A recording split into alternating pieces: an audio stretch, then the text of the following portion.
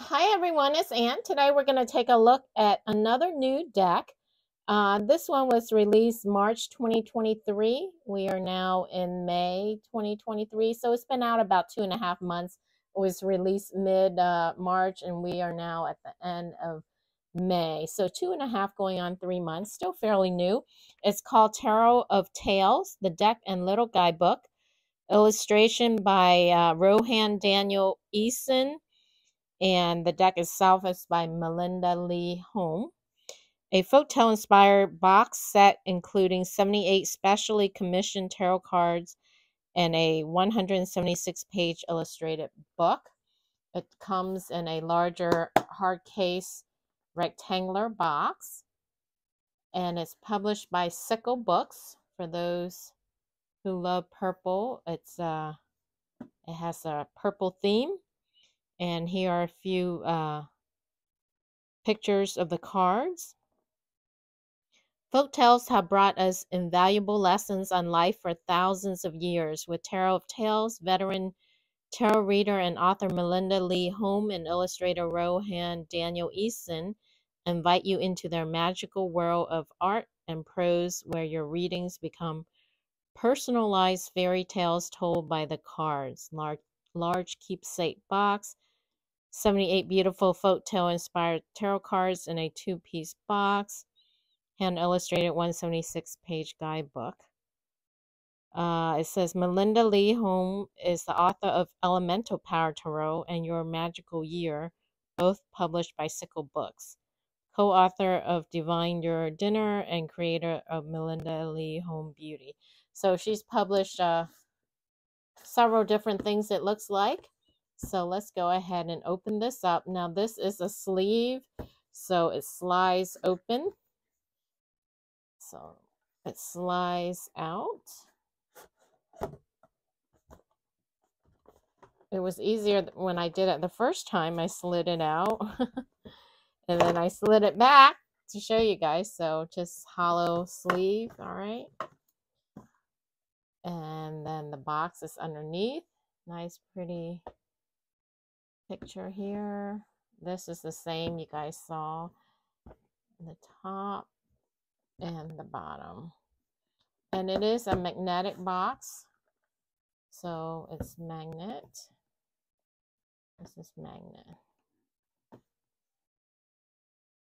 It is larger. That's why it's not totally fitting in the frame 100%. Here's the inside lining does come with a ribbon, nice thick ribbon to lift up your guidebook. And this guidebook is hard case cover, you guys.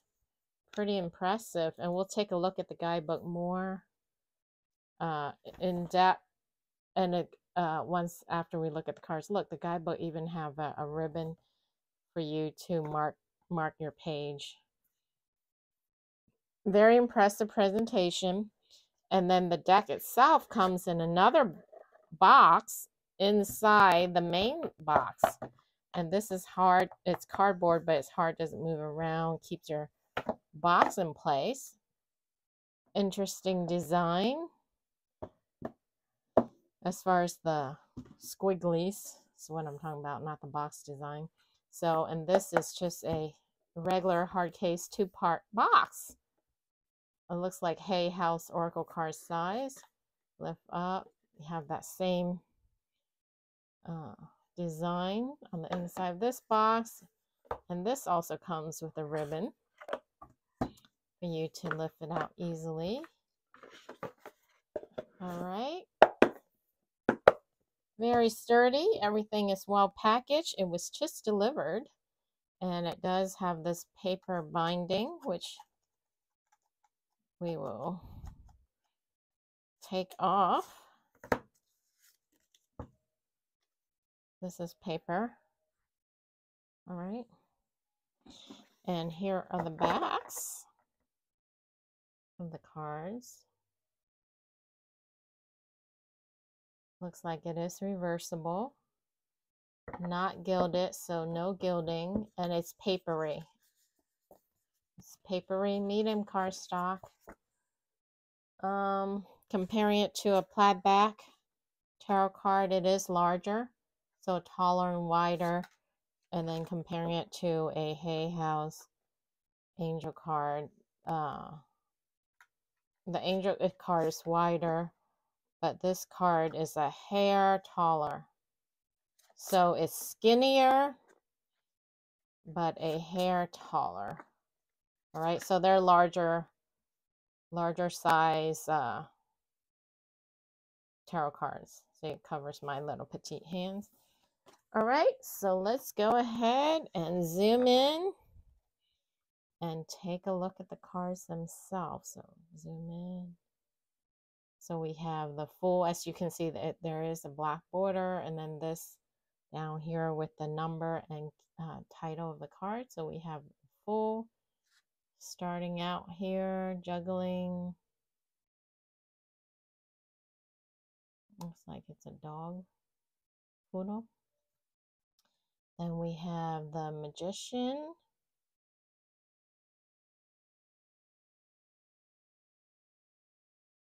The high priestess. I like this high priestess.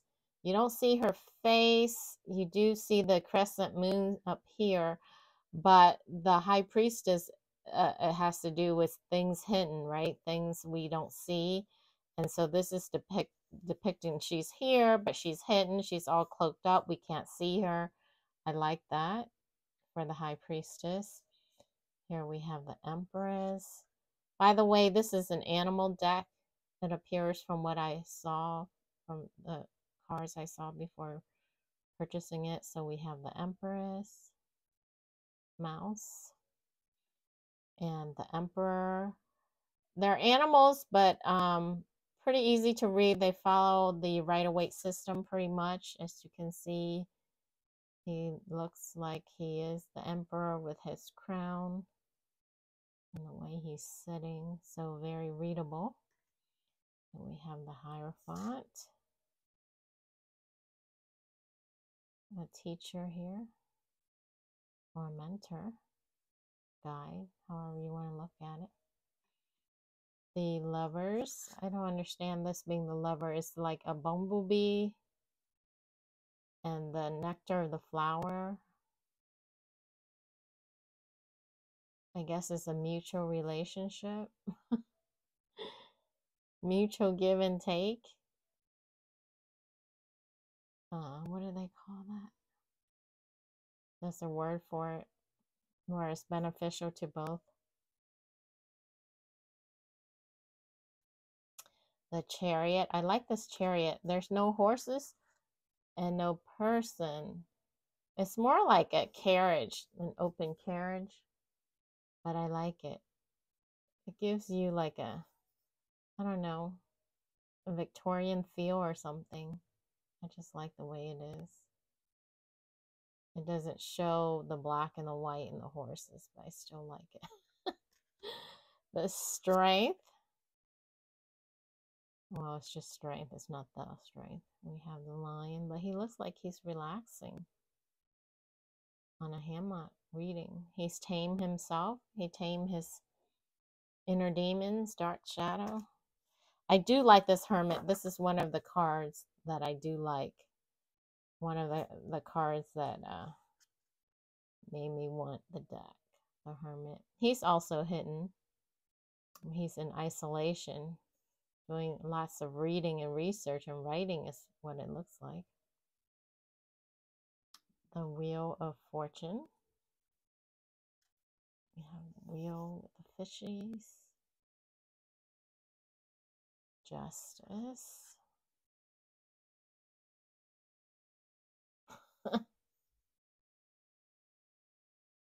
Trying to balance things out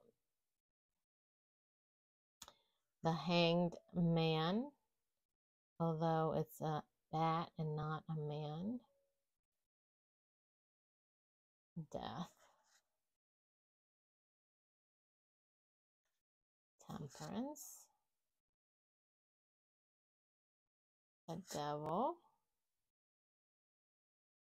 I like this devil card. It's a little mouse, but the shadow made him look something like something bigger, a big scary monster.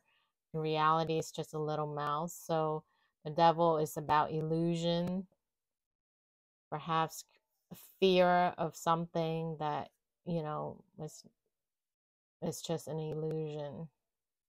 So he looks scary and big. So I really like this uh, interpretation of the devil card as well. The tower, no lightning, no people falling, but we do have the tower there. The star, the moon, the sun, different sun card, judgment. It doesn't follow the Rider-Waite 100%, sort of loosely. Some cards does and some cards doesn't, but judgment and the world. So this completes the major arcana. Moving on to the minor, starting with the suit of cups with ace of cups. Two of cups. Two fishies with the jellyfish. Three of cups. A little celebration here with friends. and the turtle is serving as their table. Four of cups.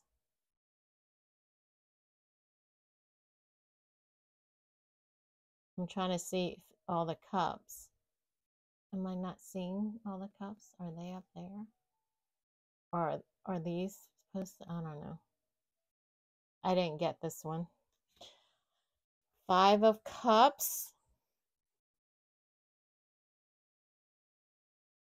So are they being washed away, washed out? Oh, a tidal wave coming in. Yeah. Six of cups. So some of this is not traditional Rider-Waite.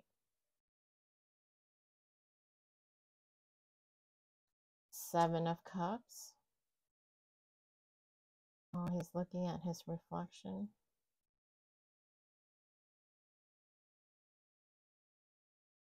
Eight of Cups. All the penguins. I guess they're all going away. Nine of Cups.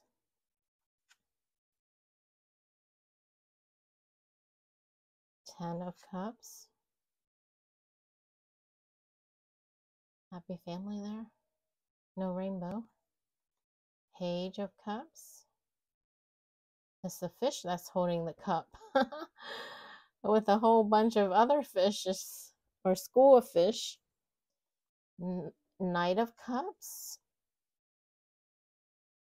Queen of Cups, and King of Cups. Next is the suit of swords with Ace of Swords, Two of Swords, trying to balance there. Three of Swords, Four of Swords, Five of Swords, Six of Swords. Oh, they're graduating. They throw all their graduation hats in the air. Seven of Swords, Eight of Swords, Nine of Swords. The owl is stressed out, studying. Ten of Swords. Page of Swords. Knight of Swords. Queen of Swords. And King of Swords. Next is the suit of coins with Ace of Coins, Two of Coins. Oh, it's a bear watering. Interesting. Three of Coins. Oh, they're working together. Teamwork. Four of Coins. The squirrel saving for a rainy day. Five of coins. I don't understand this one. I have to look at the guidebook for that. Six of coins. This is different also. There's no giving that I can tell. Seven of coins. Eight of coins. There's a deer down here. But I don't see the eight coins, so this one I didn't understand either. Nine of coins. So the ants are working together to create abundance. So non-traditional nine of coins. Ten of coins, the whole family. Page of coins. Knight of coins. Queen of coins. And King of coins. Next is a suit of wands uh, with ace of wands, two of wands. So a fork in the road trying to decide which path to take. Three of wands, four of wands, five of wands. This is different for the five of wands. I didn't understand this either a lot of this I have to look through the guidebook to figure out the author's interpretation. Six of Wands, Seven of Wands, Camel going through, Eight of Wands, Nine of Wands, Ten of Wands, Page of Wands, Knight of Wands, and Queen of Wands. Uh, Queen of Wands, and then King of Wands is last. And I don't know if I mentioned this is matte papery. I know I said it was medium in comparing the side, but I don't think I said the texture. It's matte on the pa papery side, papery feel. So let's take a look at the nice guidebook here. It's large. And as I mentioned, it is hard case, like a textbook, hardcover. 2023 by Cico Books. Table contents, we have introduction, the language of tarot, your story, writing, the ending, the basics, preparing for readings, asking questions, reading between the lines, spreads, major arcana, minor arcana. Then they go through the different suits. The pages are semi-gloss. So here are the different spreads, and then they, it goes into the major arcana and you do get a full size color picture of the card. What I do like from what I saw is this uh, deck, it gives you five different interpretation for the one card, for each card, I should say. So for example, starting out, we have the Fool. Uh, it says radical presence, trust, surrender to the moment, awareness, letting go of the past, and accepting all possible futures, the joy of simply being and then it tells you if you're looking uh, if you get this card what does it mean for the past position you had a carefree attitude never concerning yourself with plans for the future you trusted that exactly enough would come to you at exactly the right time freeing you to follow your bliss with a clear mind and heart. So that's the past and then the present meaning is your eyes are locked with the eyes of a performing dog balanced on a ball on one foot and juggling yet exuding a tranquil bliss so complete that you wonder if she'll fall asleep. Your sense of time melts away. This moment is your whole world. Wow. And then on the horizon, which is the future, mean, meaning is colorful flags in a variety of sizes, shapes, and patterns dance in the breeze. No two are alike, and yet they all seem to be celebrating the same thing. You feel yourself begin to sway along to their rhythm as you approach. All right. I'm trying to see the flags. Or are they just saying that? I don't know. Okay, so the meaning from above. So I guess from above looking down. Songs of birds combined with the rattle of tree branches and whistling wind to create a spontaneous improvised symphony. This music of nature beckons you to set down your work and dance to the rhythm of life. And then the final meaning, deep within, a profound stillness keeps you grounded in the here and now. Everywhere you go, a sense of calm contentment follows. You feel free to play, not weighted down by guilt over this idle time, but instead buoyed by the happiness it brings. So for each card, you get six meaning. All right. So let's see the minor if the minor is the same. Yeah, the minor is the same. So here we have the Ten of Cups. And then the keywords supportive community, freedom from shame, unconditional love, happiness, vicarious joy, security, family, open expression of emotion. And that goes through what does it mean in the past, at present, on the horizon, from above, and deep within. Pretty nice.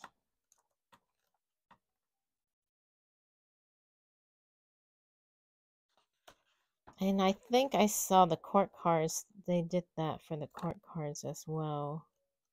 Just want to double check. So here's the world, and then the minor arcana. And then do they have a separate section for the court cards, or do they put it at the end? Yeah. So the court cards is the same. They put it at the end of each suit in order. So let's let's read one of the court cards just to see. So King of Swords, realm is the sky. Intellect, strategy, rationality, structure thinking, logic, presenting a sound judgment, clarity of mind and voice, refinement, analysis. In the past, you closely studied the theories of others, but had trouble forming your own point of view. You were too close. You needed distance to see how the intersections of all these trains of thought fit together, where they clash, and what you found in the pattern. At present, your clothes flap lightly in the wind as the king of air assesses your character, sword aloft, an antenna to gather divine communications. The sword descends. The king touches the tip to the top of your head. You are anointed. On the horizon, kites glide gracefully through the sky, brought to life by a perfect breeze on a clear day. You trace the random paths they take with your eyes, retaining the patterns and shapes, and make a game of creating a language from them. From above, a funnel cloud drops down and grabs you, pulling you up into the air. You find you can float safely in the sky and you relax, taking in the vast landscape above and below the clouds, understanding both are your home. And then deep within your mind's eye, guided by your breath, you reach a state of peace. In this meditative state, you keep just one question in your consciousness when you open your eyes, the answer arrives as a switch on like a light bulb. All right. So they have the same setup for the major cards, the minor cards, and the court cards. And you get a full size color page of all 78 cards through the entire book. And then in the back, she has acknowledgments. There's a total of 176 pages. So very nice guidebook. All right, so this is an animal deck. Um, for those who like animals. and it loosely followed the Rider-Waite system, not a hundred percent. Some of it, even for me, it was confusing, but um, nothing you can't figure out. And then the guidebook explains it all. You know, if you're not sure or if you get confused or but very nice, very nice presentation. And I will put the link uh, in the description underneath the video as usual for those who uh, are interested. So I hope you enjoy that. Thanks for watching and I will catch you again on the next video. Bye.